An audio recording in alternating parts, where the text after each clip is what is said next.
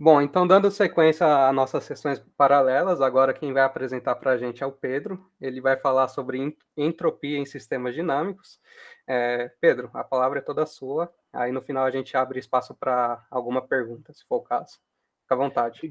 Obrigado. É, primeiro agradecer é, o espaço que o EPP me proporcionou.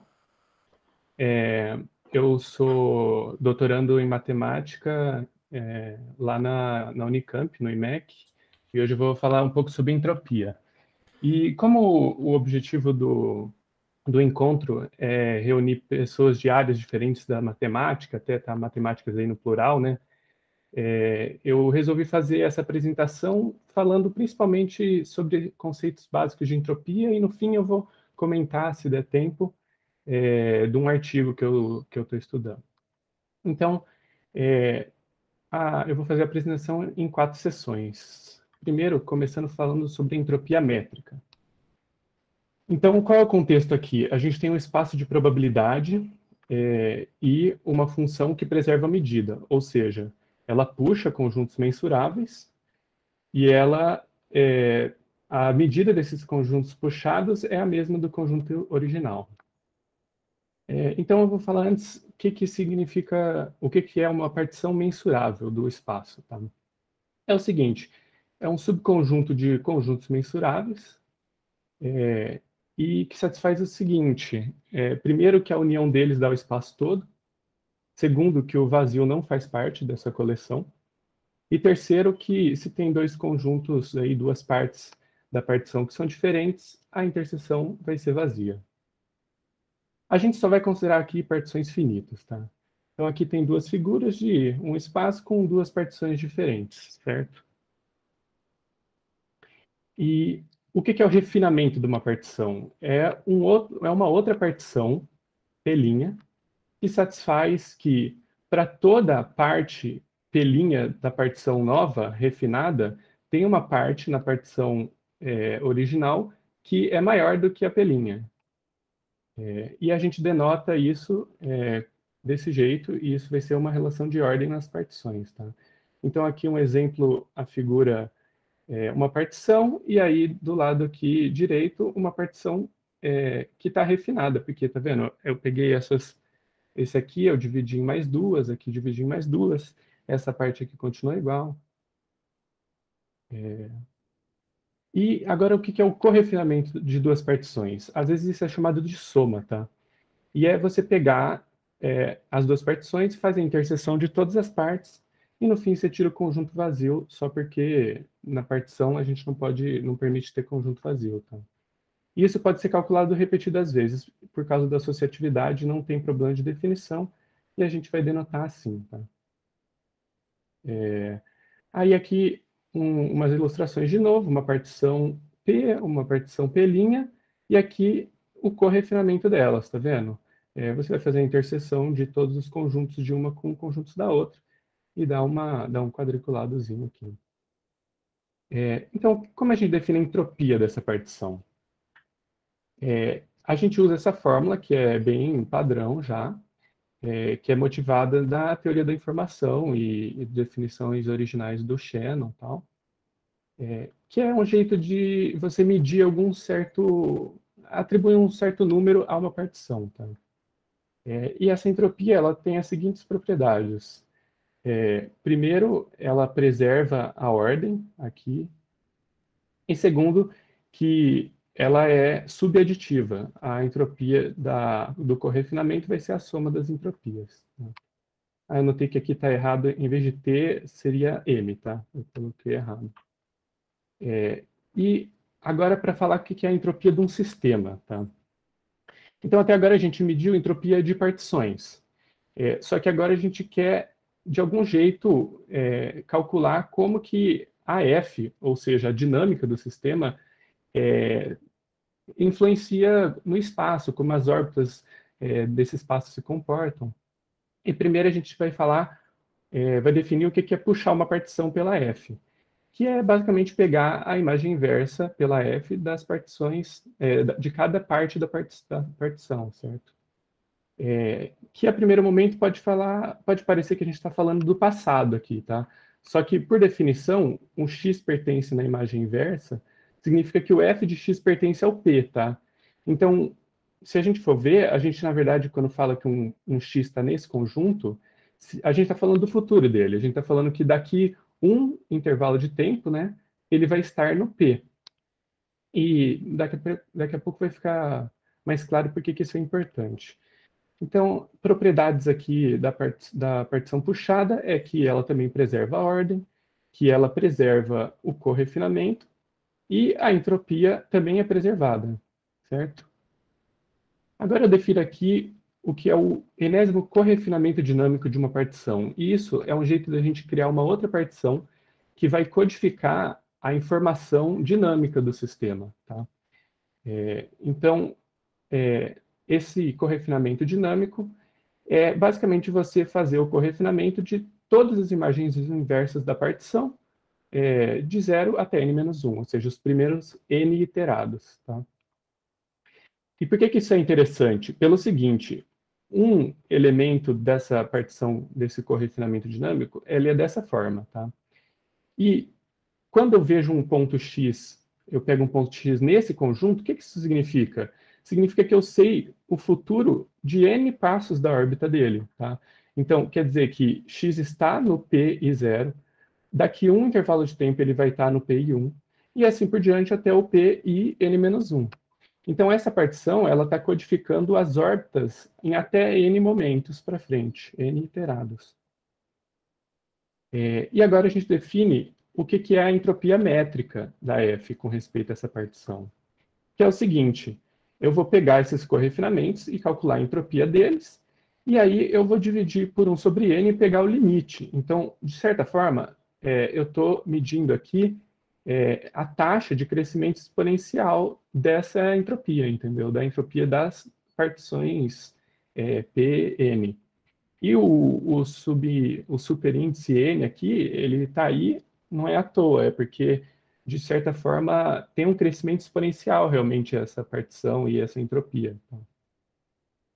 É, e é, proposições bem básicas sobre isso são, primeiro, que essa entropia é, do sistema com respeito à partição, ela preserva a ordem, e segundo, que ela é subaditiva com relação ao correfinamento. Tá? É, e para definir finalmente a entropia métrica do sistema, é, o que, que, eu vou fazer? Eu vou pegar o sup para todas essas partições é, finitas, mensuráveis, é, e a ideia por trás disso é basicamente o seguinte, com cada partição que eu pego, eu meio que estou definindo aqueles iterados e aqueles itinerários do ponto x, né, de cada ponto x. Mas uma pessoa pode pegar uma partição e outra pode pegar uma diferente. É, então, basicamente, a entropia ela vai falar assim, ó, o pior dos casos, o mais complexo que pode ser o seu sistema com relação a uma partição, é o valor da entropia, é o supremo. Tá? E explicitando toda a definição agora da entropia, só pegando tudo que a gente já fez, essa é a expressão geral.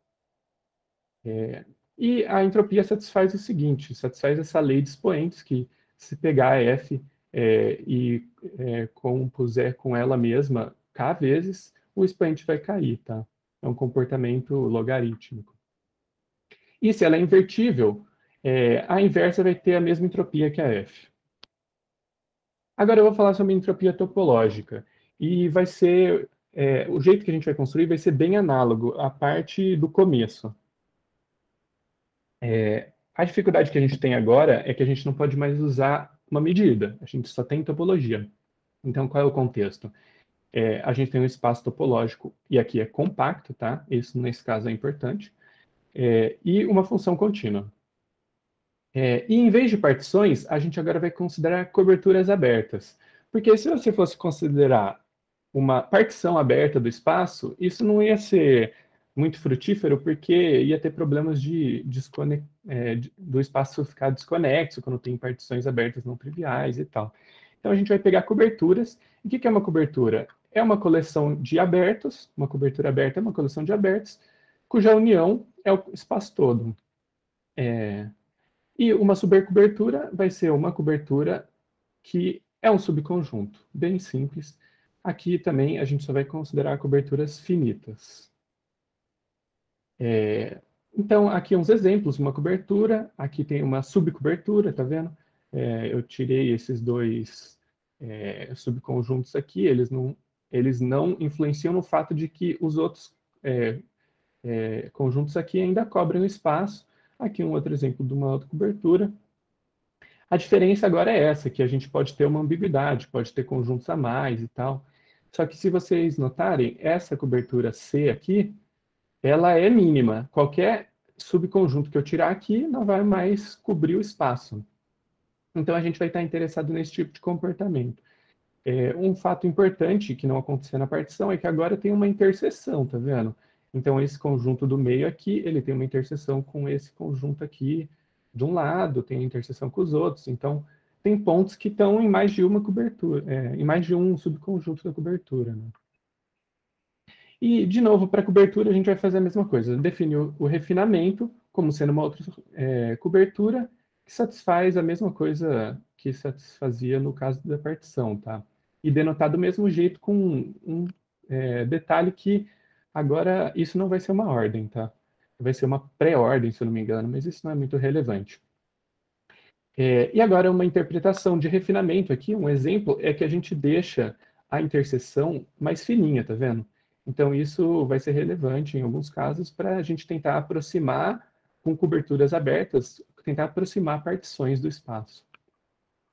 E, de novo, o correfinamento define bem igual, a única diferença é que a gente não vai tirar é, o conjunto vazio, porque para cobertura pode ter conjunto vazio. E, de novo, ele pode ser calculado N vezes por causa da associatividade. Então, aqui, só uns exemplos. É, o correfinamento pode ficar uma coisa muito complexa, né? Como eu fiz nessa figura aqui. É, é toda, todo tipo de interseção aí está lá dentro. É, e agora, para definir a entropia é, de uma cobertura, primeiro a gente vai definir esse número mínimo de subcobertura, tá? Então, o que, que é isso? Agora a gente não pode mais medir o tamanho dos conjuntos dessa cobertura, porque a gente não tem medida, só tem topologia. Então a ideia é que eu vou contar qual é a quantidade de conjuntos que tem na minha cobertura, mas aí eu vou olhar para subcoberturas dessa cobertura C, porque a gente quer descartar é, conjuntos que são irrelevantes na cobertura C. E aí o mínimo desses, dessas cardinalidades vai ser esse número n, tá? E ele tem as seguintes propriedades, ele também preserva aqui a, a relação de é, refinamento, só que agora ele não é mais subaditivo, digamos, ele é submultiplicativo. Então, para corrigir esse tipo de comportamento, dado que a gente quer que a entropia tenha é, um, uma natureza aditiva, digamos, a gente vai definir a entropia da cobertura como o log desse número. Então, simplesmente passo log, a propriedade fundamental do log é transformar a multiplicação em soma, né? Então, a gente mantém, porque o log é crescente, a gente mantém essa propriedade, só que agora a gente tem a subaditividade, tá? E, novamente, para definir, agora que a gente sabe definir e sabe calcular a entropia de coberturas, a gente vai definir é, a entropia do sistema, primeiro falando o que, que é puxar uma cobertura, que é a mesma coisa, basicamente. Segundo, é, bom, aí tem essas propriedades. E agora, um detalhe é que a entropia topológica ela não é mais igual quando você puxa, tá? Mas ela é menor igual, o que na prática ainda é, é suficiente. E aí, quando a F é sobrejetiva, a gente tem igualdade. Tá? E agora a gente define de novo o correfinamento dinâmico da mesma forma, puxando todo mundo e fazendo o correfinamento de tudo. E a entropia topológica, a gente define de novo como é, esse limite, essa taxa de crescimento exponencial, né? É, e, e, finalmente, a entropia topológica não só relativa a uma cobertura, mas, mas de modo geral, do, da F, da dinâmica, é o supremo, tá? E, de novo, resumindo aqui a, a definição para tudo.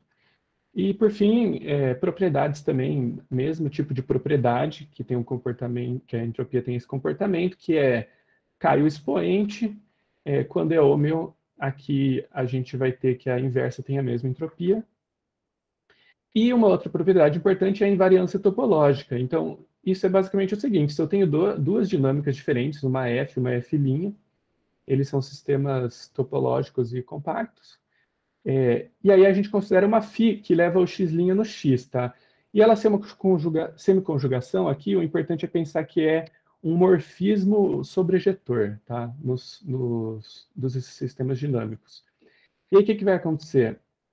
A gente vai ter é, que a entropia da F' vai ser maior ou igual que a entropia da F, o que implica se, que se for uma conjugação, o φ, né, ou seja, um ômega, aqui a gente vai ter a igualdade das entropias. Então, ela realmente, a entropia topológica é uma característica topológica do sistema. Né? E, por fim, eu vou falar aqui sobre a entropia uniforme. A entropia uniforme geralmente é, recebe o nome até de entropia topológica, porque ela é definida num espaço métrico, e é que a gente vai considerar, em geral, compacto, mas ela pode ser definida para não compacto também, isso é relevante, e uma função f que é contínua. Quando o espaço for compacto, ela vai ser uniformemente contínua. Quando, ele não, quando a gente não considerar compacto, a gente geralmente vai de, é, exigir que ela seja uniformemente contínua, tá? E por isso o nome entropia uniforme. Ela tem a ver com a estrutura uniforme do espaço métrico, não só é, a princípio, não só com a estrutura topológica. É... Para definir essa entropia, eu vou falar sobre bolas dinâmicas. Tá? Então, o que é uma bola dinâmica? A gente vai ter um centro e um raio, como de costume em bolas, e aí um, uma ordem m. E o que, que é essa bola? Ela, você vai olhar todos os pontos que, para n iterados, a órbita dele está epsilon perto da órbita do ponto P do centro, tá? Então, são pontos que estão perto do P e durante N iterados vão estar ainda perto do P, epsilon perto, no caso, tá? É, e uma consequência dessa definição é que isso pode ser escrito como esse, essa interseção, puxando as bolas em cada ponto da órbita, tá? E depois fazendo essa interseção. É, agora, é para definir conjuntos geradores. É, a gente vai querer olhar conjuntos compactos no espaço M, tá? É, e a gente quer cobrir esses conjuntos compactos com bolas dinâmicas. Então, o que, que a gente vai fazer? A gente vai definir que um N-epsilon gerador desse compacto é um subconjunto de pontos que a gente tem que pensar que são centros de bolas, tá? De modo que as bolas dinâmicas centradas nesses pontos G, é, nesses pontos P no, no espaço do, é, G, no conjunto G, ela cobre o compacto K. E aí a gente fala que o, o conjunto G, Epsilon, gera K. E a gente define essa quantidade. Analogamente ao caso topológico, a gente vai contar qual é a menor quantidade de bolas dinâmicas que a gente pode usar para cobrir o K, tá? Então, é basicamente isso que a gente está falando aqui.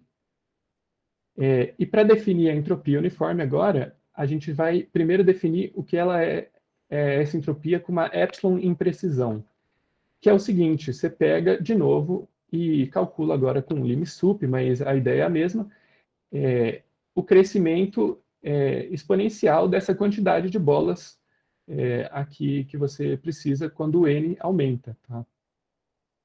É, quando esse n aumenta, eu, eu não comentei a, na hora, mas a, a, bola dinâmica, quando o n aumenta, ela vai diminuindo, porque você vai ter, ter uma restrição maior para pontos que vão, durante mais tempo, estar tá perto do ponto original.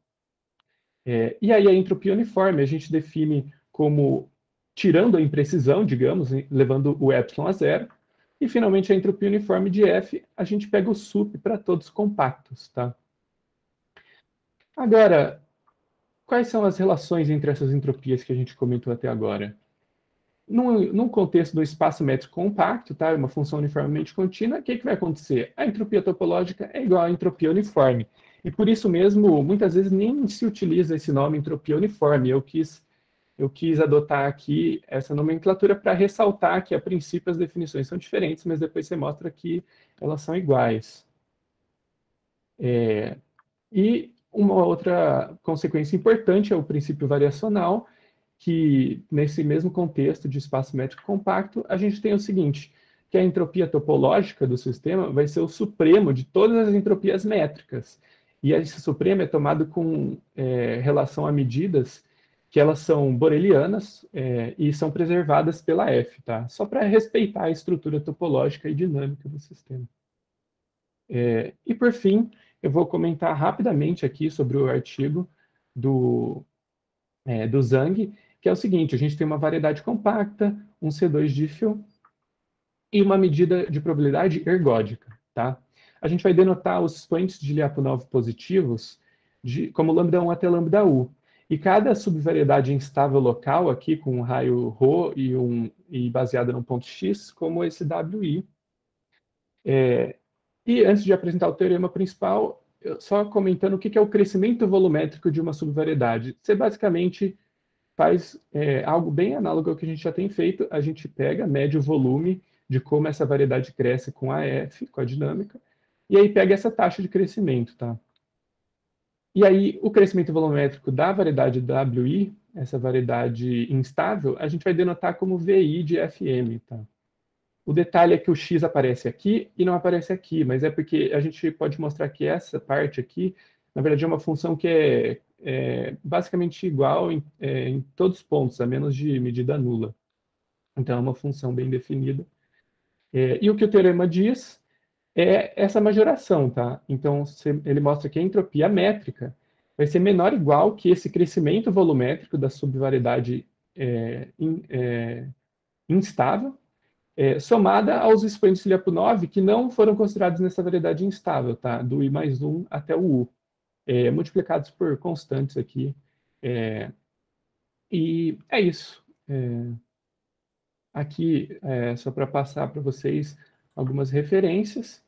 É, Para quem quer estudar é, livros que falam sobre isso, tem o livro do, do Viana e do Oliveira aqui, Fundamentos da Teoria Ergódica, que cobre bem isso, e um livro bem bom também é o do Bowen, esse livro aqui.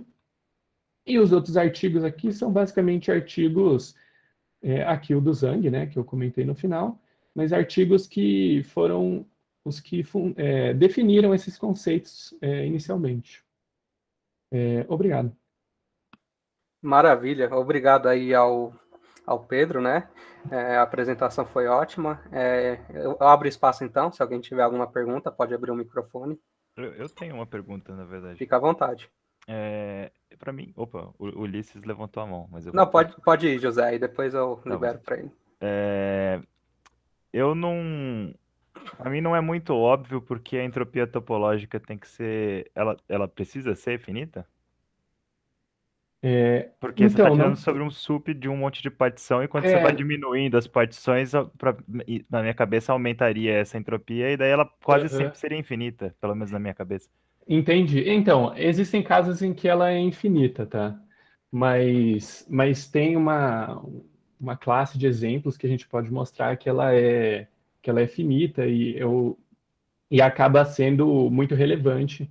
Não sei se você já ouviu falar, por exemplo, é, é, um, é, um, é um tipo de exemplo bem comum em dinâmica dos deslocamentos, né, hum. é, de Markov e tal, coisas desse tipo. A gente consegue mostrar que ela é finita é, e, e, a gente consegue diferenciar esses deslocamentos usando entropia. Ah, interessante. É, é. Ah, então, tá. então, assim, a princípio eu, eu fiz uma, uma apresentação muito limpa, digamos, não mostrei nenhuma, nenhuma. Eu realmente não provei nada tal. Para fazer as contas, tem que definir muito mais coisa e ver com cuidado, mas, mas tem muitos casos relevantes em que ela, em que ela vai ser finita. Tá, hum, tá bom. Beleza, obrigado. Ulisses? Oi, Pedro. É, muito boa apresentação, Olá. parabéns. Eu fiquei em dúvida só com o enunciado do, do teorema, que você fala que você tem uma, uma estimativa ali, né, sobre o, esse crescimento volumétrico que acontece em m todo ponto. Eu fiquei uhum. em dúvida, é, esse volume que você fala da superfície, da subvariedade, é, não é o mesmo, não é um volume dado em termos da mesma medida m no espaço ambiente, é? Ou alguma espécie de... É o que? É a restrição da medida à subvariedade ou é um volume em relação a alguma outra é, medida? Não, geral, geralmente. Olha, eu, eu não tenho certeza absoluta, tá? Isso é uma, isso é uma boa pergunta, mas, mas eu, eu diria que não. Ele é um volume. É, por exemplo, quando você tem uma variedade riemanniana, você consegue definir o volume de subvariedades, Uhum. coisas Em relação a uma forma ambiente, né? tipo. É, exato, exato. Em relação a uma forma ambiente. É, agora, eu não tenho certeza absoluta, tá? É, eu acho que a medida aqui, o papel da medida está sendo mais para você falar, porque aqui é uma, uma medida ergódica, né? Uhum, sim, É, sim. mas Tá, faz sentido. Você usa uma medida ergódica para obter informa informações a respeito do crescimento volumétrico no espaço ambiente, né? Sim, a- a a priori medida não precisa é mais- ter nada a ver com o seu F, né? Com a dinâmica. é, é, ela funciona mais como uma probabilidade, mas, mas é. Perfeito. Valeu, obrigado. Uhum. É, Marisa, pode perguntar. É, eu tenho algumas dúvidas sobre o enunciado. Essa variedade instável, né, que você está contando só as que têm o expoente de Apo 9 positivo, certo? Aham. Elas são é, variedade instável de, de Pesin, né? A princípio não tem Isso. é, um split hiperbólico. É, por isso que é em quase todo ponto, não é? Aquela condição. Exatamente, é isso. É, elas e elas assim elas levam em consideração todos os lambdas até o lambda i, né? Uhum. É, então elas meio que vão, ela, uma vai contendo a outra, e tal. Você vai, é, mas é, é da teoria de Pessin, é isso mesmo. Tá, eu posso ver o enunciado de novo, por favor? É, aqui, Tá, então a, esse teorema ele é para uma medida fixada. Não é um tipo É. de princípio variacional. É para essa medida fixada que é para essa, é para essa medida fixada, é. Ah, tá. Tá, é que tem alguns resultados parecidos que se você tem uma medida com propriedades geométricas, né, que é a medida SRB, a gente tem que a entropia é igual à soma dos expoentes instáveis com multiplicidade. Então é bem parecido, tem, tem o mesmo espírito, digamos assim. Só que Uhum. para uma medida, aqui a gente tem é, que ele preserva o volume, o seu difeomorfismo, Preserva, preserva o volume. seria um, um resultado parecido no contexto conservativo. Bem interessante. Tá, interessante. aham. Bom, então vamos agradecer aí ao Pedro, uma salva de palmas, muito boa apresentação.